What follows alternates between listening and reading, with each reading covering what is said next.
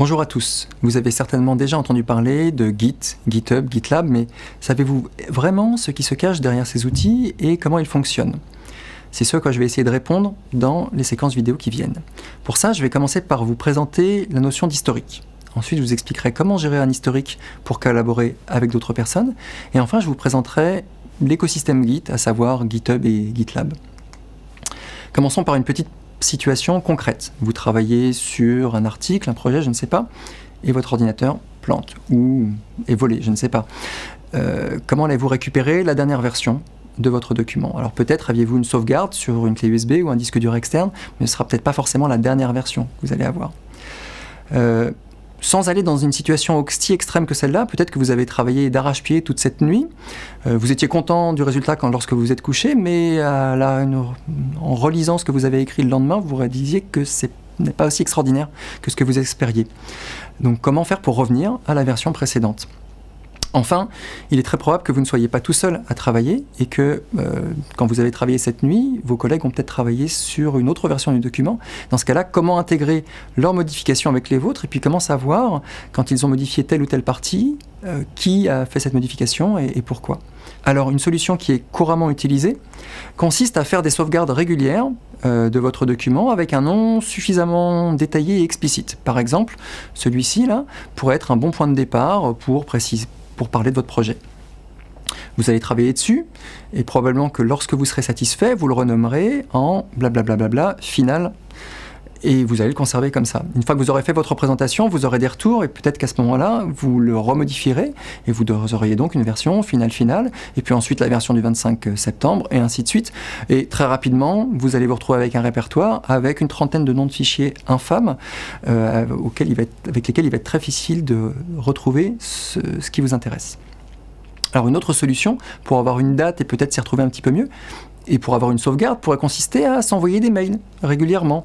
Mais pareil, euh, faire des recherches, gérer des fichiers dans votre boîte aux lettres, c'est probablement pas la meilleure solution qui soit. La bonne solution consiste à utiliser ce que l'on appelle un gestionnaire de version. Ce sont des outils qui datent des années 70 et qui vous fournissent les trois fonctionnalités suivantes. D'abord, ils vous permettent de conserver un historique des modifications et des données sans dupliquer les fichiers inutilement et sans vous donner accès à tout dans votre répertoire. Ensuite, ils vous permettent de facilement synchroniser votre historique avec un ordinateur distant. Enfin, ils vous permettent de fusionner plus facilement les modifications que vous avez apportées avec celles que vos collègues ont pu apporter. Alors, il existe des dizaines de gestionnaires de versions, et celui que je vais vous présenter s'appelle Git. Il a été conçu en, 2005 par Linus Torvald, qui est également le concepteur et développeur principal du noyau Linux. Le noyau Linux, pour vous donner un ordre de grandeur, c'est plus de 20 millions de lignes de code, 14 000 développeurs, c'est donc un projet énorme et il y a donc intérêt à avoir un logiciel qui soit capable de tenir la charge d'un tel historique. Avant 2005, la communauté des développeurs Linux utilisait un logiciel propriétaire qui s'appelait BitKeeper pour gérer le développement du noyau Linux. Mais en 2005, BitKeeper a décidé de modifier la licence, de changer légèrement le protocole, ce qui a passablement euh, agacé Linus et ses collègues qui ont donc décidé pendant un mois de dire j'arrête le développement du noyau Linux et je crée un véritable outil open source pour répondre à ces questions. C'est ce qu'il a fait et cela a donné Git.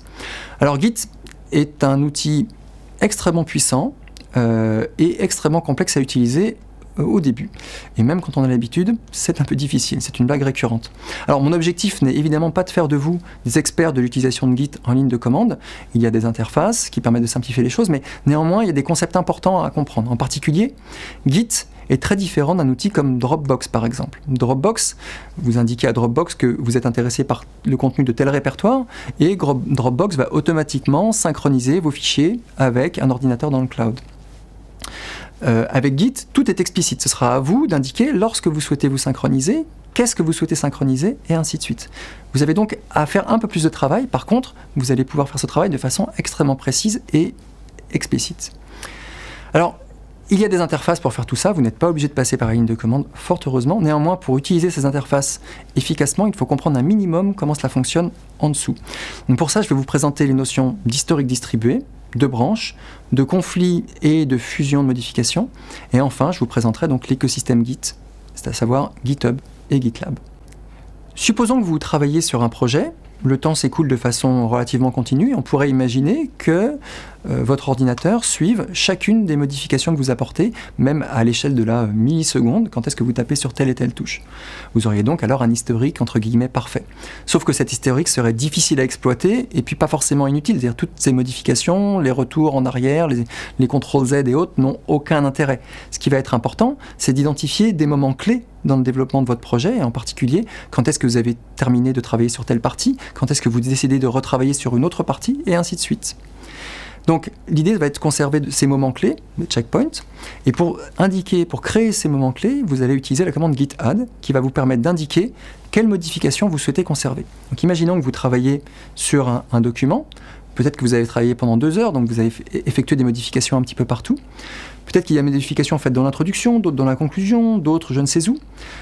Avec GitHub, vous allez pouvoir dire je souhaite conserver ces modifications-là et celles-là, elles vont ensemble. Elles font partie d'une seule modification logique.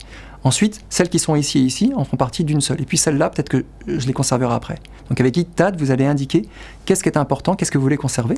Et avec Git Commit, vous allez finaliser votre commit pour dire voilà, ça c'est un état stable et vous allez indiquer dans un commentaire à quoi correspond euh, cet état. Ça peut paraître un peu abstrait, donc prenons un exemple bien concret. Euh, vous commencez votre historique avec un premier article au format Markdown, euh, un document, une image JPEG, et puis euh, c'est votre première version. Vous travaillez dessus, peut-être que vous éditez le, le contenu du document, git add, git commit, vous avez votre deuxième version. Vous continuez à travailler, vous rajoutez une deuxième image, vous faites référence à cette image dans votre article, troisième version, et ainsi de suite. Donc la création de ces différentes versions est complètement automatique, et vous avez le début de votre historique. Peut-être que la version 6, c'est justement celle dont je vous parlais tout à l'heure, celle que vous avez faite pendant la nuit, et que le lendemain, quand vous réveillez, vous dites euh, c'est pas extraordinaire, j'aimerais bien revenir à la version d'avant. Pas de problème, vous revenez à la version d'avant, et vous continuez à travailler. Vous avez donc créé une deuxième version V6, une V6 prime, et ainsi de suite, vous continuez à travailler. Alors, deux points importants à ce stade. Vous voyez qu'ici, je crée un historique et que j'ai deux branches quelque part qui sont en train de partir de mon historique. Euh, vous n'avez pas un historique qui est complètement linéaire, il est naturel finalement d'avoir des petits bouts de modification par-ci par-là. Ce qui va être important, c'est quelle est la branche principale qui vous intéresse. D'autre part, vous voyez que euh, autant je vous dis que le temps s'écoule continuellement ou plus ou moins continuellement euh, du bas vers le haut, autant mes flèches vont dans l'autre sens. En fait, les flèches que je marque ici indiquent des dépendances de par exemple de la version 5 sur la version 4, ou de la version 6 sur la version 5, ou de la version 6' sur la version 5. D'accord? Ces flèches indiquent des dépendances d'une version par rapport à une autre. Alors, ce qu'il faut comprendre, c'est que cet historique dans Git euh, fonctionne à la granularité du fichier, non pas du fichier, mais du projet. Lorsque vous corrigez un bug, il est assez rare que la correction ne puisse se faire que dans un fichier. Souvent, il faut modifier ici, ici et ici. Et donc, ce qui va être important, c'est de bien faire une modification qui comprenne l'ensemble, un commit qui comprenne l'ensemble de ces modifications. L'historique à l'échelle du fichier individuel n'a pas grand sens. D'autre part, ici, vous voyez que je les ai numérotés V1, V2, V3, V4 parce que c'était plus simple au début de les numéroter de cette façon-là. Mais vous voyez que quand je suis arrivé sur la version V6, j'ai commencé à être un petit peu embêté parce que j'ai un retour en arrière, j'avance dans le temps. Donc en fait, dans Git, chaque commit est identifié non pas par un, un numéro comme ça, mais par une clé cryptographique euh, qu'on appelle un, un, shawan, qui est l'espèce de, suite de caractères que vous voyez en bas. En fait, cette clé cryptographique est un encodage des modifications qui ont été apportées, de votre message, de votre commentaire, de la date à laquelle ça a été fait et de la version dont cette modification dépend. Il va donc, une fois qu'un historique est créé de cette façon-là, il va donc être quasiment impossible de l'altérer. Si jamais il y a la moindre petite modification quelque part, ça va se voir immédiatement au niveau de cette clé cryptographique. Donc pour résumer, GitAdd, Git Commit vont vous permettre de créer ces historiques et toutes ces versions. Une fois que vous avez créé quelque chose comme ceci, vous allez avoir des fonctionnalités intéressantes qui vont vous permettre de, par exemple, comparer les différences qu'il y a entre deux versions. Alors ici, évidemment, il ne faudra pas écrire V4, V8, mais le SHA-1, la clé cryptographique qui correspond à la V4 et la V8. Euh, ça va être très pratique pour comprendre ce que telle ou telle personne ont réalisé comme modification. De même, avec la commande git checkout, vous allez pouvoir revenir directement à l'état de votre répertoire lorsque vous étiez dans la version 6. Ce qu'il faut bien comprendre, c'est que tout ce qui a été commité à un instant donné est sauvegardé et accessible. Même si j'efface par mégarde mon article ou quoi que ce soit, tout est encore dans l'historique, dans un répertoire .git qui est caché avec tout un tas d'informations. Et donc, une fois que c'est commité, rien n'est perdu. Bon, sauf évidemment euh, si vous effacez tout le contenu de votre disque dur, là, euh, le contenu est complètement perdu.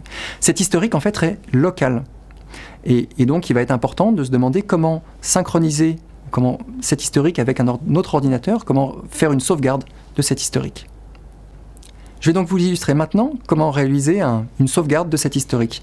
Mettons que euh, Alice souhaite travailler sur un projet. La façon la plus simple pour commencer à travailler consiste à utiliser un serveur comme GitLab, euh, nous reviendrons un petit peu là-dessus plus tard, et par créer un nouveau projet. Au moment où le projet est créé, un historique Git vide est créé.